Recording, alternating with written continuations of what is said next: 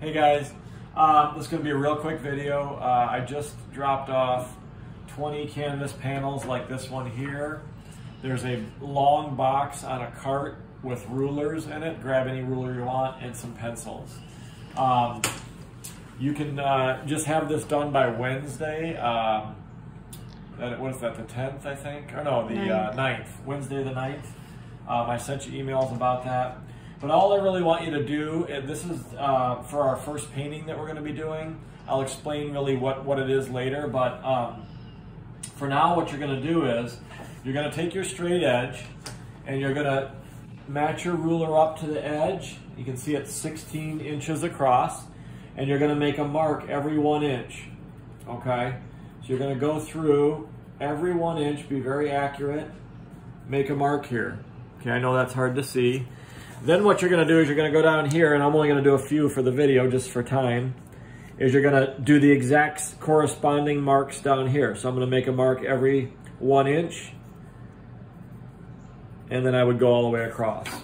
You're gonna do the same thing on your longer side, which is 20 inches. So you're gonna make that mark every one inch, like so, okay? You're gonna go do the same thing over here making that mark every one inch. Be accurate about it. Keep your ruler uh, lined up nicely. Of course, you would go all the way through, right? And then what you're gonna do is, very, very lightly, and it's gonna be hard to see on the video because I don't wanna go too dark, very, very lightly, just dragging my pencil, I'm gonna connect the dots. So I'm gonna line up uh, a little mark every one inch, get, make sure my ruler's lined up nicely, and make that line. And again, very, very lightly, you're just kind of dragging your pencil. Really only dark enough to where you can see it. Okay, so it's very light, probably hard to see in the video. And then you're gonna come on the long end and you're gonna do the same thing. So I'm coming in like this. So that when we're done, we want a grid of one inch squares. I think it's actually 360 if I'm not mistaken. It's um, it's a 20 by 16. So it is 0, 12, 0, 0, 2. It's 320. 320 one inch squares is what you're going to be uh, creating, okay?